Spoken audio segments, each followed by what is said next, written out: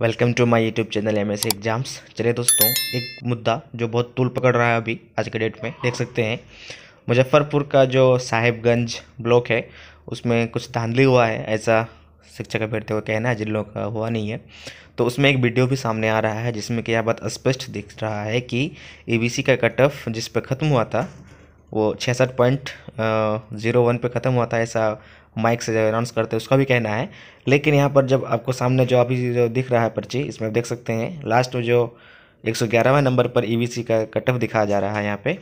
देख सकते हैं यहाँ पे इकसठ पॉइंट सिक्स सिक्स है जबकि छियासठ पॉइंट ज़ीरो वन होना चाहिए था।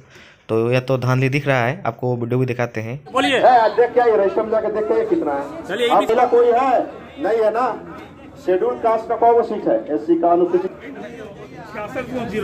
छियासठ दशमलव ज़ीरो एक है बोलिए ना ऐसे करके कि ईबीसी इतना पे क्लोज हुआ ऐसे बोलिए तुम जैसे बोलोगे वैसे बोलेंगे तब ना ऐसे नहीं बोलिएगा ईबीसी कितना पे क्लोज हुआ नहीं बोलिएगा ईबीसी कितना पे क्लोज हुआ नहीं बोलिएगा आएँगे कहेंगे आएँगे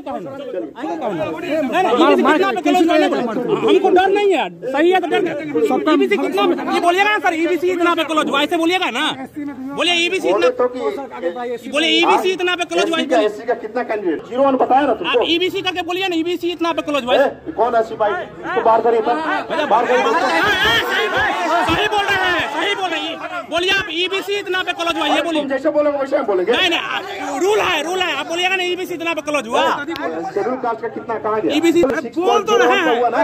अभी ईबीसी हो। जाएगा EBC sixty six point zero EWS का हो। जाएगा।